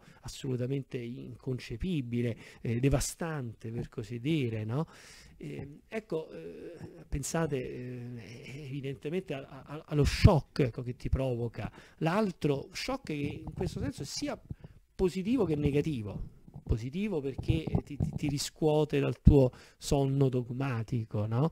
ti fa prendere coscienza del tuo limite, della tua solitudine esistenziale, ma nello stesso tempo eh, ti porta a, a, metterti in dialogo con, con, l'alterità, che è un modo per stirare eh, questa solitudine, per viverla eh, come potenzialità di, di apertura, no?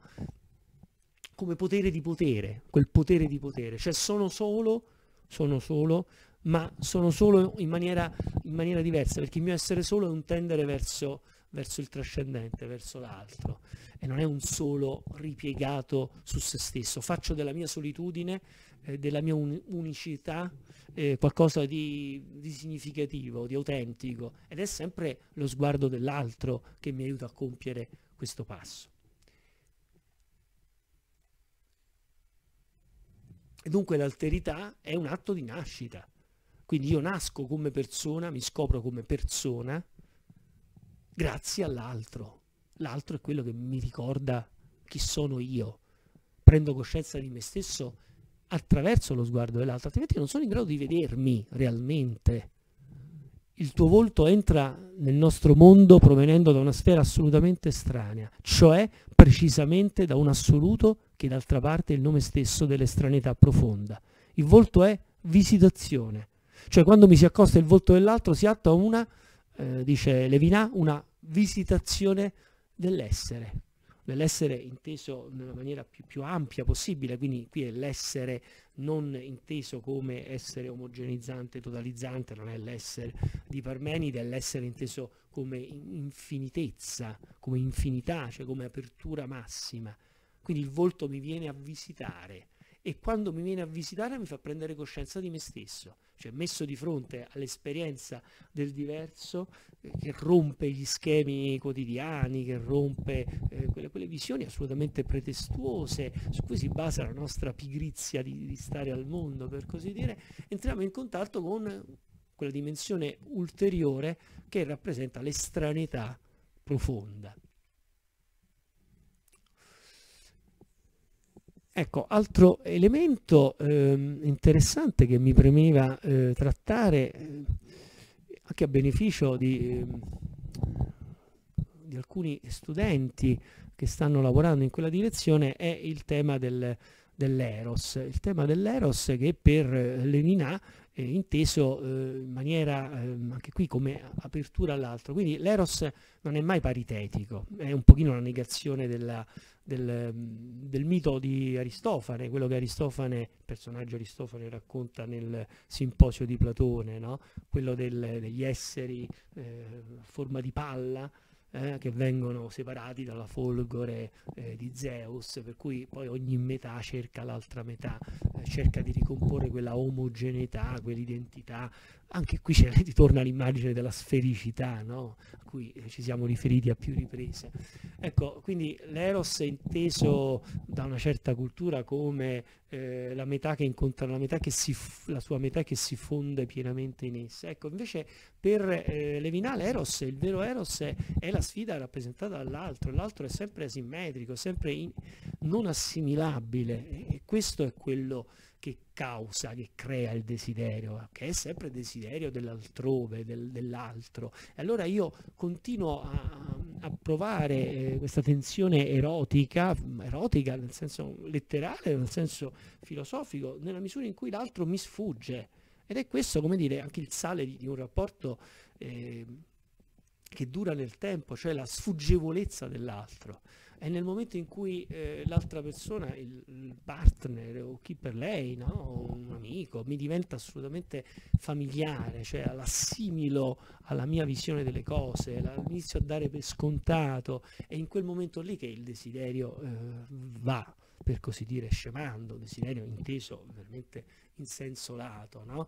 eh, quando mi abituo a e dall'abitudine deriva la noia, l'angoscia sostanzialmente. Quindi l'eros, eh, l'alterità erotica rappresenta il, il, diverso, la diversità, l'assolutamente altro, non assimilabile. E questo è anche il rapporto tra il maschile e il femminile. No? Il femminile è l'origine stessa del concetto di alterità che non scompare, nel, non si assimila nella relazione amorosa. Chiaramente questo è il punto di vista di un uomo, eh, Levinà, eh, si potrebbe dire la stessa cosa eh, della donna rispetto all'uomo, no? Evidentemente. La differenza di sesso non è la dualità di due termini complementari, infatti i due termini complementari suppongono un tutto preesistente. Ora, dire che la dualità sessuale suppone un tutto significa porre già prima l'amore come fusione e dunque come annullamento dell'ego mm, e quindi tornare al mito, al mito eh, di, eh, di, Aristofane, quello presente nel simposio che dicevo prima. Quindi la relazione non neutralizza, neu, neutro, che viene dal latino neutrum, né questo né altro, no? non neutralizza l'individualità, la conserva, nel senso la, la rende dinamica, nel dialogo, è nella relazione, è nel cambiamento, è in questo eh, tendere a, un tendere continuo, è il desiderio che sostanzialmente la, rappresenta la spina dorsale dell'amore. Allora, in termini metaforici, metaforici religiosi, il desiderio eh, di ciò che non può essere raggiunto, che non può essere toccato con mano, perché è l'infinito stesso, è il silenzio, è l'essere, quella, quella, sfera, eh, quella sfera interiore eh, che ti appaga col suo non essere eh, segno di appagamento, ti appaga perché non ti appaga, mm, so che è difficile eh, dirlo, anche concepirlo, non che dirlo, eh, il fatto di stare continuamente in tensione che ti apre verso questa, questa dimensione eh, altra, enorme, no? ulteriore. E questo è il segreto del, del, dell'amore. Dunque, eh, il femminile, il femminile rispetto al maschile, ma ripeto, possiamo anche declinarlo nel senso opposto, andando oltre Levinano, la, la differenza di genere è fondamentale perché instaura un, una relazione eh, complementare eh, di alterità, di, di, differenza, di differenza che è di stimolo eh, sia per l'uno che per l'altro, per così dire, se volessimo semplificare diciamo, l'umanità nei due generi, maschile e femminile, semplificazione che mi guardo bene dal fare. Ma insomma l'altro si declina, ripeto, in tante maniere diverse, ma prendendo come simbolo no, i due generi, mh, mm, dalla tradizione pitagorica in poi, maschile, femminile, luce, tenebre, ehm, uno, molti, eccetera, eccetera, possiamo dire che eh, l'idea è questa, no? l'idea dell'alterità, del diverso, del, del dispari, no? del, scusa, del, del, pari in realtà, perché il dispari nella visione eh, pitagorica, nella visione classica è il finito, il chiuso, qui è il pari, quello che fa come dire, scoppiare eh, l'identità e rappresenta l'infinità, il molteplice, l'alterità in generale.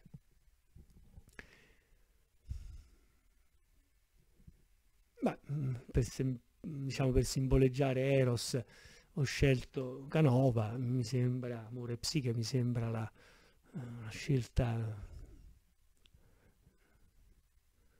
illuminante, come è luminoso il, il volto del ragazzo. L'incontro con Dio avviene nel prossimo, beh, ehm, leggiamo Levinas, che qui credo che non ha bisogno di molti commenti, non può esserci alcuna conoscenza di Dio a prescindere dalla relazione con gli uomini. Altri è proprio il luogo della verità metafisica, indispensabile al mio rapporto con Dio. Non ha affatto il ruolo di mediatore. Altri non è l'incarnazione di Dio, ma appunto attraverso il suo volto, nel quale è disincarnato, la manifestazione della maestosità nella quale Dio si rivela.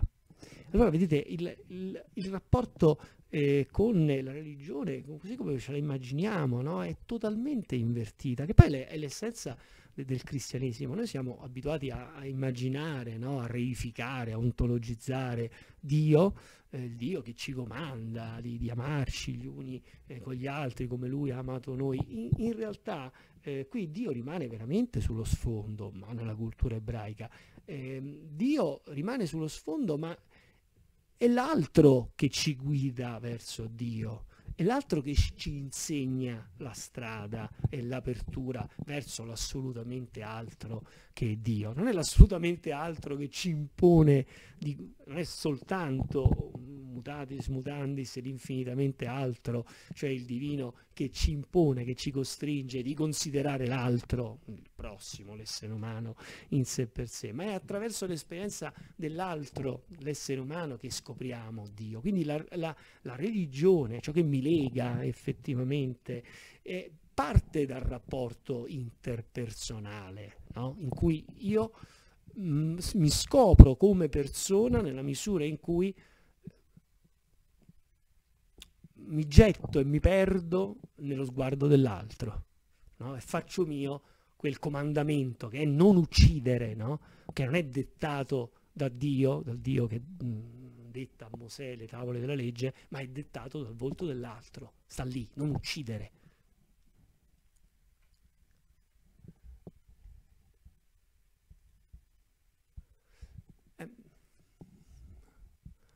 Fotografia dell'abbraccio tra due bambini mi sembrava assolutamente appropriata come luogo in cui nasce l'etica e insieme all'etica nasce la spiritualità, per così dire.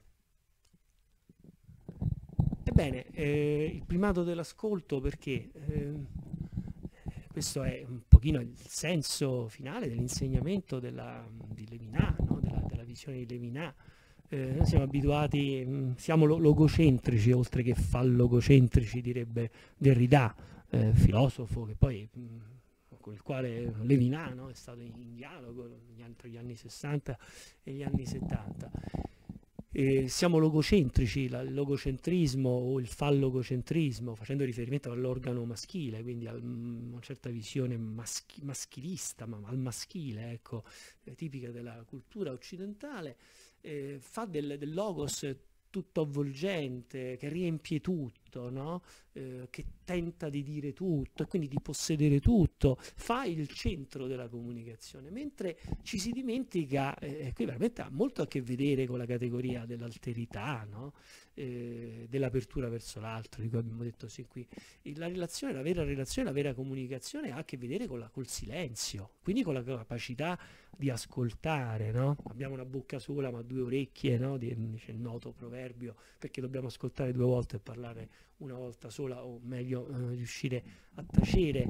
Eh, dico io che ho problemi a tacere, no? visto che il mio mestiere consiste nel parlare. E, ehm, quindi la capacità di stare a sentire eh, ricorda eh, dal punto di vista dell'acustica quella che è la capacità di stare a guardare, di stare a vedere, anche il verbo eh, vedere, no? quello legato alla vista, pensate in italiano, non solo in italiano, in quante diverse maniere si declina, no? ma noi non le consideriamo, quindi un conto è dire vedere, un conto è dire eh, guardare, o riguardare, perché c'è la cura, c'è l'attenzione verso ciò che si guarda, oppure osservare, eh, considerare, contemplare, eccetera, eccetera. Ecco. E, ehm, e così ascoltare vuol dire un mettersi a disposizione di, un fare un attimo silenzio, ma se non fai silenzio l'altro non lo vedi vedi solo te stesso, no? il chiacchiericcio interiore, eh, queste forme di, di narcisismo autoreferenziale eh, del, che sono testimoniate dai social, non perché i social siano lo strumento del demonio, Dio ce ne guardi e liberi, ma perché sono luoghi in cui si manifesta questa che è, un, eh, dire, è uno spirito dei tempi, è un, una struttura metafisica della contemporaneità. No? Quindi l'ascolto, l'ascolto che è il, il cuore della, della, delle pratiche filosofiche, della consulenza filosofica in particolare. No? Il volto si sottrae al possesso, si sottrae al mio potere. L'espressione che il volto introduce nel mondo non sfida la debolezza del mio potere, ma il mio potere di potere. Il volto mi parla e così mi invita ad una relazione che non ha misura comune con un potere che si esercita, fosse anche godimento o conoscenza ovvero solo la relazione tra soggetti potrà garantire un'autentica società pluralistica e autentica pace. Vedete come dall'etica si passa alla dimensione della politica e infatti, eh, ne ho già parlato, eh, responsabilità per l'altro significa prendere in considerazione la terzietà, il terzo, no? ecco la sfera politica, questo è il testo che ho letto e commentato all'inizio della lezione, mi avvio verso la conclusione apertura, carità, accoglienza sono niente verso, senza il senso di giustizia che si basa appunto sul concetto del terzo, il prendermi carico del rapporto con il terzo. Nel momento in cui sopraggiunge il terzo, chiamiamolo la persona C accanto alla persona B, non posso fare altro che chiedermi, pur amando incondizionatamente sia B